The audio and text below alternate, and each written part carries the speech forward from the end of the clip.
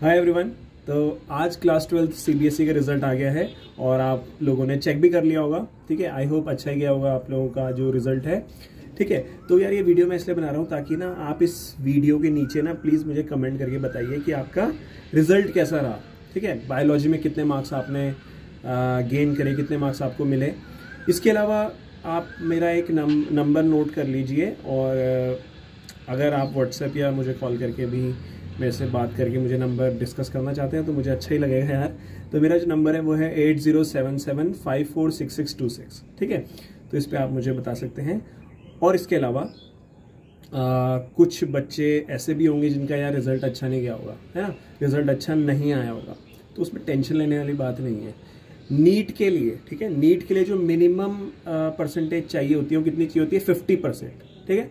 तो अगर किसी बच्चे की यार 50 परसेंट या 52, 53, 55 परसेंट ऐसी भी आती है तो होपलेस मत होना। क्योंकि 50 percent is minimum requirement to appearing in NEET exam ठीक है? तो अगर आपके इतने भी आते हैं तो कोई बात नहीं। अभी जो अपकमिंग आपके एयर्स हैं जिसमें आप प्रिपरेशन करोगे नीट की तो उसमें अच्छे से पढ़ लेना। तो सिलेक्शन हो जाएगा है ना? तो ये क्लास ट्वेल्थ के जो नंबर हैं ये इतना मैटर नहीं करते हैं ठीक है?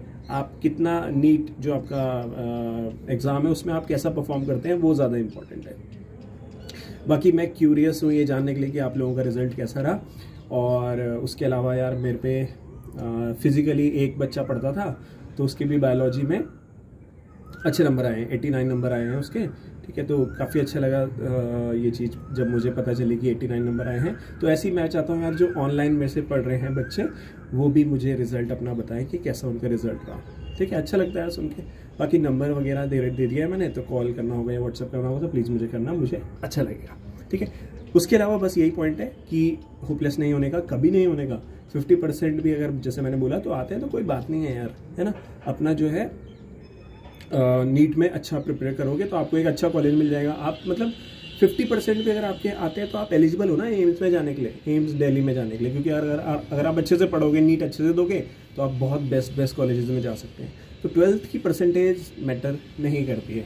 अभी कुछ टाइम तक आपसे पूछेंगे लोग ना कि भाई ट्वेल्थ में कितने आए, क्या मार्क्स आए, कितने मार्क्स आए। दो तीन, चार, पाँच महीने बाद कोई नहीं पूछता। बस ये पूछेगा कि अब आगे क्या कर रहे हो, है ना? यही तो पूछते हैं। तो उसमें फिर जब आप बोलोगे कि भाई मैं तो एमबीबीएस कर रहा हूँ तो सब भूल जाते हैं कि ट्वेल्थ में कितनी परसेंट आई। क्या करना है? ट्वेल्थ की परसेंटेज का ना इसलिए होपलेस नहीं होने का और अच्छे से अपनी मेहनत करना आगे जो आपका अब जो आप नीट का पेपर दोगे आगे जाके ठीक है?